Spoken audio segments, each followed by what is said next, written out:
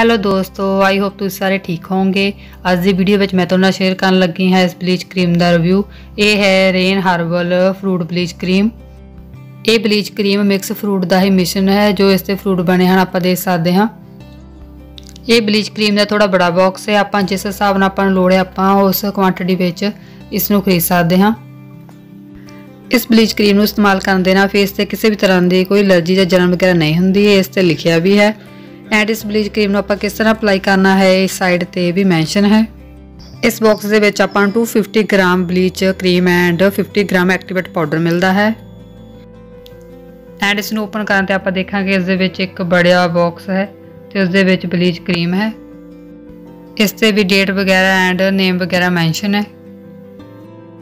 And ਦੂਸਰੀ box ਵਿੱਚ ਆਪਾਂ ਨੂੰ ਮਿਲਦਾ ਹੈ ਐਕਟੀਵੇਟ ਪਾਊਡਰ ਐਂਡ ਇਸ ਤੋਂ ਬਾਅਦ ਇਸ ਦੇ ਵਿੱਚ ਇੱਕ ਸ਼ੀਟ ਦੀ ਤਰ੍ਹਾਂ ਇਸ ਤਰ੍ਹਾਂ ਟੁਕੜਾ ਹੈ ਤੇ ਇਸ ਦੇ ਉੱਪਰ ਆਪਾਂ ਆਪਣੀ ਬਲੀਚ ਕਰੀਮ ਨੂੰ ਮਿਕਸ ਕਰ ਸਕਦੇ ਹਾਂ ਤੇ ਇਸ ਦੇ ਨਾਲ ਹੀ ਇੱਕ ਇਸ ਤਰ੍ਹਾਂ ਦਾ ਸਮਾਲ ਸਪੂਨ ਹੈ। ਇਸ ਬਲੀਚ ਬਾਕਸ ਦੇ ਵਿੱਚ ਇੱਕ ਇਸ ਤਰ੍ਹਾਂ ਦੀ ਚਟਨੀ ਮਿਲਦੀ ਹੈ ਜਿਸ ਦੇ ਉੱਪਰ ਸਾਵਧਾਨੀਆਂ ਲਿਖੀਆਂ ਹਨ ਕਿ ਆਪਾਂ ਧਾਤੂ ਦੇ ਚਮਚ ਦਾ ਪ੍ਰਯੋਗ ਨਹੀਂ ਕਰਨਾ, ਗਰਮ ਪਾਣੀ ਨਾਲ ਨਹਾਉਣ ਤੋਂ ਬਾਅਦ ਬਲੀਚ ਅਪਲਾਈ ਨਹੀਂ ਕਰਨੀ ਅਤੇ ਆਪਣੀ ਅੱਖਾਂ ਤੋਂ ਇਸ ਬਲੀਚ ਕਰੀਮ ਨੂੰ ਦੂਰ ਰੱਖਣਾ ਹੈ। ਐਂਡ ਕਿੰਨੀ ਬਲੀਚ ਕਰੀਮ ਦੇ ਵਿੱਚ ਕਿੰਨਾ ਐਕਟੀਵੇਟ ਪਾਊਡਰ ਪਾਉਣਾ ਹੈ, ਉਹ ਵੀ ਇਸ ਚਿੱਟ ਉੱਪਰ ਮੈਂਸ਼ਨ ਹੈ, ਪਰ ਮੈਂ ਤੁਹਾਨੂੰ ਮਿਕਸ ਕਰਕੇ ਦਿਖਾਵਾਂਗੀ, ਨਾਲ ਹੀ ਆਪਣੀ ਫੇਸ ਦੇ ਉੱਪਰ ਅਪਲਾਈ ਕਰਕੇ ਦਿਖਾਵਾਂਗੀ ਇਸ ਬਲੀਚ ਕਰੀਮ ਨੂੰ। ਚਲੋ ਦੇਖਦੇ ਹਾਂ। ਬਲੀਚ ਕਰੀਮ ਨੂੰ ਓਪਨ ਕਰਨ ਤੇ ਦੇਖਾਂਗੇ ਕਿ ਇਹ ਵਾਈਟ ਕਲਰ ਦੀ ਹੈ। ਐਂਡ ਐਕਟੀਵੇਟ ਪਾਊਡਰ ਦਾ ਕਲਰ ਪਿੰਕ ਕਲਰ ਦਾ ਹੈ।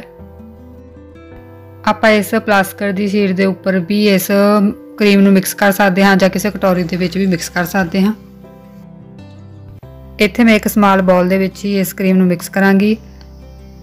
ਇੱਥੇ ਮੈਂ 4 ਸਪੂਨ ਲੈ ਰਹੀ ਹਾਂ ਬਲੀਚ ਕਰੀਮ ਦੇ।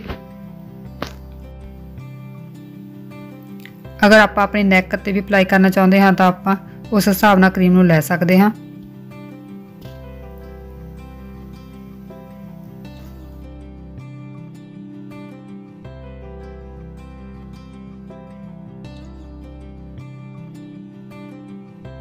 ਐਡ 4 ਸਪੂਨ ਬਲੀਚ ਕਰੀਮ ਵਿੱਚ ਮੈਂ 2 ਪਿੰਚ ਐਕਟੀਵੇਟ ਪਾਊਡਰ ਐਡ ਕਰਾਂਗੀ।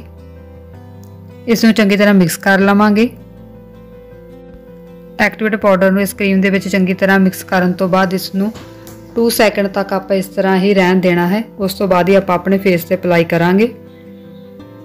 ਕਿਉਂਕਿ ਇਸ ਤਰ੍ਹਾਂ ਐਕਟੀਵੇਟ ਪਾਊਡਰ ਬਰਾਬਰ ਮਾਤਰਾ ਦੇ ਵਿੱਚ ਕਰੀਮ ਵਿੱਚ ਮਿਕਸ ਹੋ ਜਾਵੇਗਾ।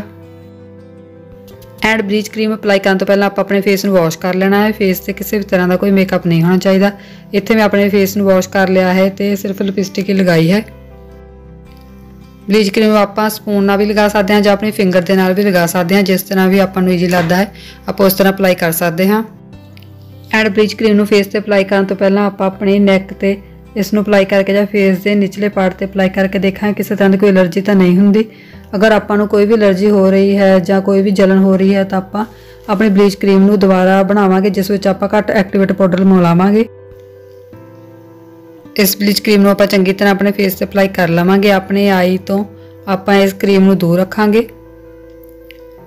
ਇਸ ਦੀ ਆਪਾਂ ਨਾ ਹੀ ਬਹੁਤ ਜ਼ਿਆਦਾ ਥਿਨ ਲੇਅਰ ਅਪਲਾਈ ਕਰਨੀ ਹੈ ਤੇ ਨਾ ਹੀ ਬਹੁਤ ਜ਼ਿਆਦਾ ਮੋਟੀ ਲੇਅਰ ਅਪਲਾਈ ਕਰਨੀ ਹੈ। ਬਿਲਕੁਲ ਠੀਕ ਮਾਤਰਾ ਦੇ ਵਿੱਚ ਹੀ ਆਪਾਂ ਇਸ ਨੂੰ ਅਪਲਾਈ ਕਰਾਂਗੇ।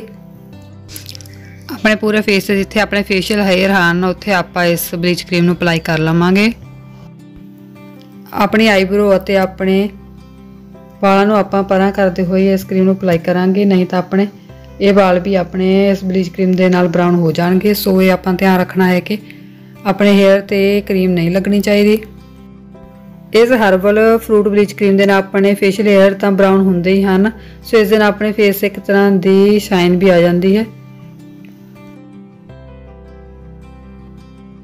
ਸੋ ਇਹ ਬਲੀਚ ਕਰੀਮ ਆਪਣੇ ਫੇਸ ਵਾਸਤੇ ਬਹੁਤ ਵਧੀਆ ਹੈ। ਸੋ ਆਪਣੇ ਫੇਸ ਦੀ ਸਕਿਨ ਨੂੰ ਸ਼ਾਈਨੀ ਅਤੇ ਗਲੋਈ ਬਣਾਉਂਦੀ ਹੈ।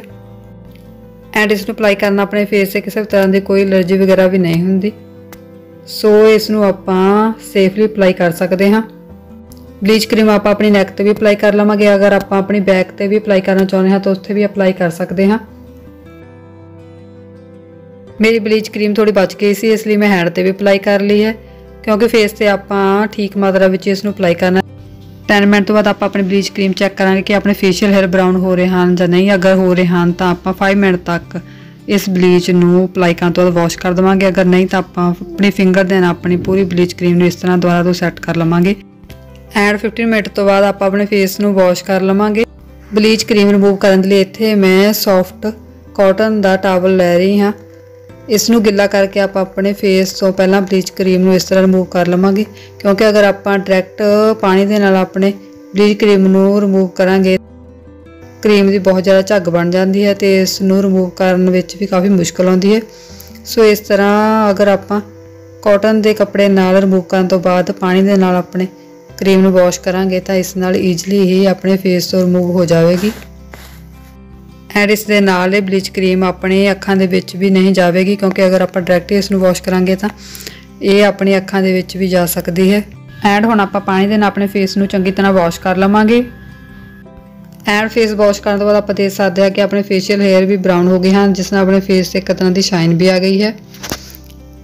ਐਂਡ ਬਲੀਚ ਕਰੀਮ ਅਪਲਾਈ ਕਰਨ ਤੋਂ ਬਾਅਦ ਆਪਾਂ ਅਪਲਾਈ ਕਰਾਂਗੇ ਐਲੋਵੇਰਾ ਜੈਲ ਅਗਰ ਆਪਾਂ ਐਲੋਵੇਰਾ ਜੈਲ ਨਹੀਂ ਅਪਲਾਈ ਕਰਨਾ ਚਾਹੁੰਦੇ, ਆਪਾਂ ਕੋਈ ਵੀ ਮੋਇਸਚਰਾਈਜ਼ਰ ਕਰੀਮ ਵੀ ਅਪਲਾਈ ਕਰ ਸਕਦੇ ਹਾਂ। ਪਰ ਐਲੋਵੇਰਾ ਜੈਲ ਅਪਲਾਈ ਕਰਨ ਦੇ ਨਾਲ ਅਗਰ ਆਪਣੇ ਫੇਸ ਤੇ ਕਿਸੇ ਵੀ ਤਰ੍ਹਾਂ ਦੀ ਅਲਰਜੀ ਵੀ ਹੋਈ ਹੈ ਤਾਂ ਉਹ ਵੀ ਬਿਲਕੁਲ ਠੀਕ ਹੋ ਜਾਵੇਗੀ।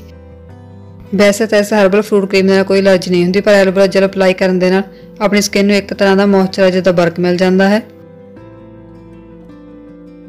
ਵੀਡੀਓ ਹੈਲਪਫੁਲ ਲੱਗੀ ਹੋਵੇ ਤਾਂ ਲਾਈਕ ਕਰਿਓ ਐਂਡ ਚੈਨਲ ਨੂੰ ਸਬਸਕ੍ਰਾਈਬ ਕਰਿਓ। ਮਿਲਦੇ ਨੈਕਸਟ ਵੀਡੀਓ ਵਿੱਚ। Bye bye